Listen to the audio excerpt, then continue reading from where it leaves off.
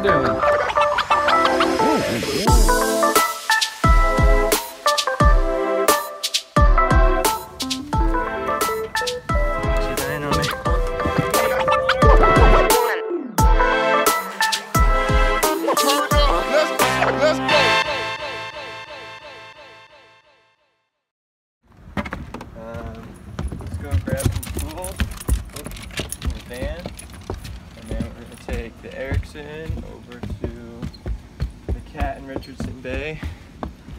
With all of our water so we can clean the boat, scrub it up, probably take a bunch of trash off that boat, and put it on the Erickson, and take it back here and dump it.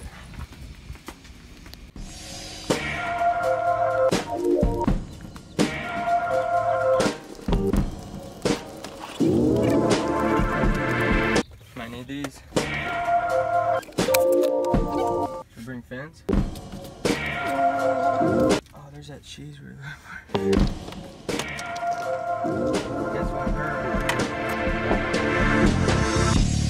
Ready to get a move on? Ready, B?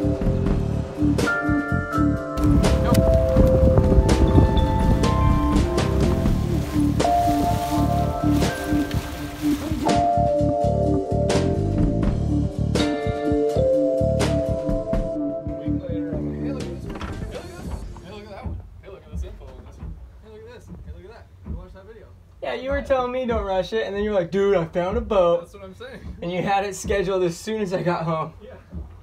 And then, If this all goes south, I think it's fair for you to blame me. honestly, that makes me feel really, really good. Yeah. Because I will blame you. Yeah, I think it's totally dirty. Sweet.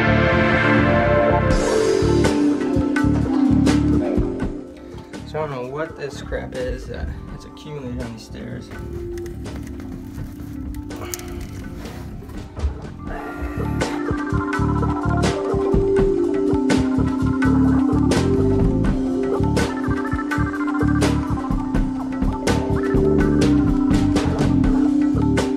How many safety goggles this guy got? oh my god. Don't tell me there's not another pair in there. Oh dude, check us out, Magic Hats! What's up, guys?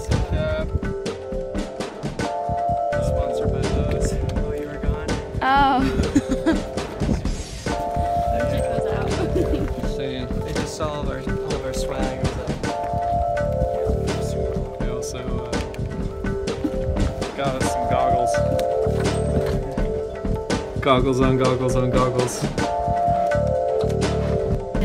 you feeling after your first hard day's work? Awesome! Take us poops. From all her yapping. Relax thereof. Nice shot, B.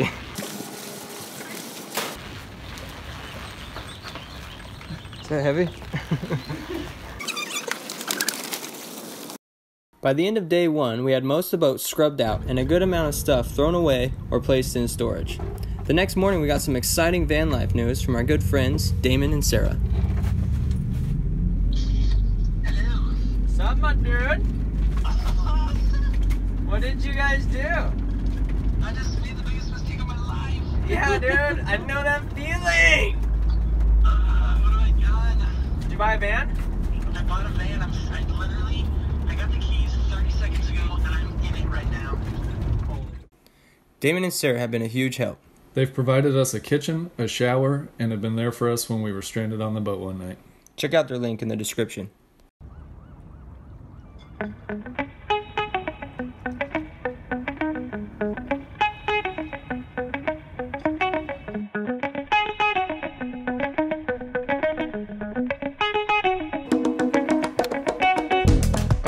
Few days of actual boat work on Sender involved stripping the existing deck hardware, prepping those holes to be filled, and the deck to be glassed.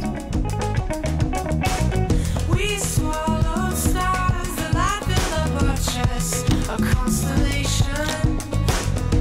Such love we had, but never did we rest. Our method for filling holes is to over drill the hole, which cleans out any funk and exposes good core to adhere to.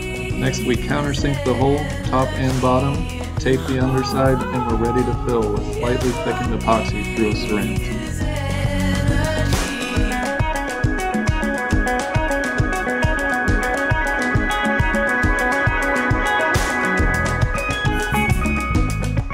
Later that day, we were off to Oakland to pick up a lightly used generator off Craigslist.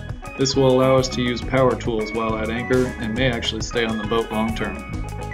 We also got some gas and ran some errands. We're at 80 bucks. That's like a quarter of all the money I have on fucking gas. Sweet.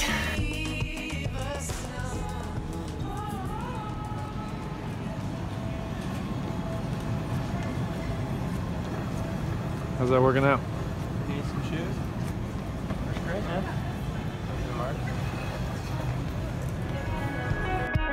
The next day, we were on to prepping the bows for fiberglass. Cleaning these areas was going to take forever, and with the combination of low temperature, high wind, and an intermittent heat gun, we were relegated to the good old fashioned task of chipping paint.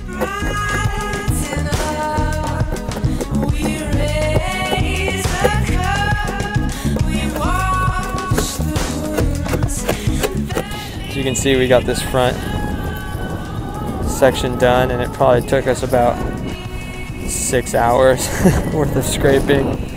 Um, we're working on the second one. Our plan is to hopefully just sand the last bit of shit that's on there so we can glass it tomorrow.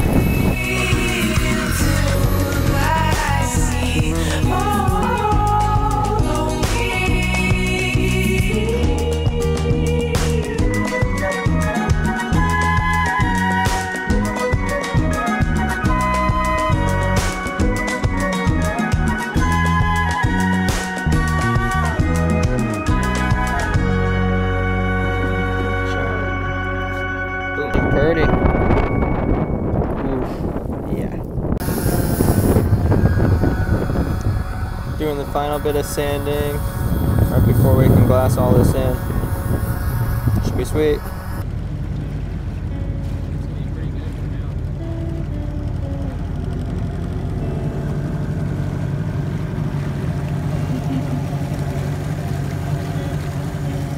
In the purchase of the boat, we also got a rigid inflatable dinghy. Even with all its issues, it had been working fine. Unfortunately, later this night, it would go missing. We still don't know what really happened to it. Dot dot dot. always right on the other side without a care. Losing that dinghy was a devastating hit to our momentum and wallets.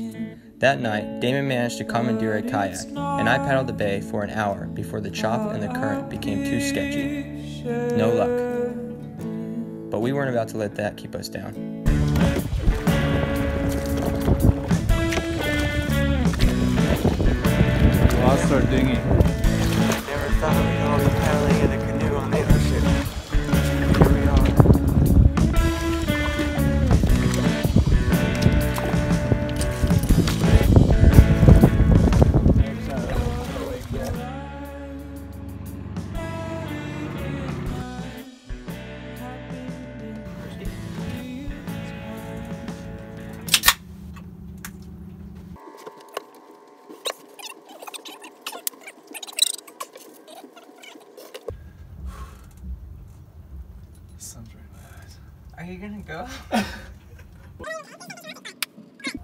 Thank you guys for watching. We're really excited to start making these videos and get started with this project. Yeah, sorry, uh, Becca couldn't be here. She had to leave for work this morning. So, this is our outro to our film. And we just want to say thanks to all the bands that let us use their music and everybody that helped us along the way, especially Dayman and Sarah. Uh, they got us out of a couple tight spots. Yeah, it's just been pretty interesting getting this whole thing started out here. So we're filming everything off of iPhones. We probably lost a good three to five days on just issues getting to and from the boat. Um, look for our next videos coming out. We're already starting the next one. Currently, we're actually two or three weeks ahead of this video already. So we're planning on having a video out every week or bi-weekly. We're not totally sure, but the next one should be out soon and we want to be regular about it. Our Instagram will always be pretty much live and up to date. Actually, so in the whole first video, his elbow's broken or fractured in a couple places. Yeah. So if you want to help out, you can um, check out our Patreon. help us spread the word because Yeah. we're really just trying to reach a wide audience and kind of show people what we're doing and we're super excited about it and we feel like more people need to know about it and see that it can be done We got a lot of big plans for this boat. Um, if you watch our videos, you'll see it unfold. We got a re- lot of really cool, swanky stuff we're gonna do this thing. Um, so make sure you're checking it out. give me a minute i gotta text my mom about what kind of top of ramen we want Shout out to the moms out there. buying their dirtbag kids flats of top ramen shrimp oriental and beef should get more tuna. Dude, oh yeah, Oriental. If they don't have Oriental, you should get shrimp. Wait, you already said shrimp. shrimp oriental and beef You don't like chicken? I guess it's just like salt flavor. Yeah, it's just like everyone has chicken, so I feel like I have more chicken than any of the other ones combined. Yeah, you go to your friend's house and eat a lot of chicken, top ramen. Is that a knock? Did I well, do that? Oh, just no. It was just funny because you're like everybody has chicken. Well, I feel like that's the most common flavor.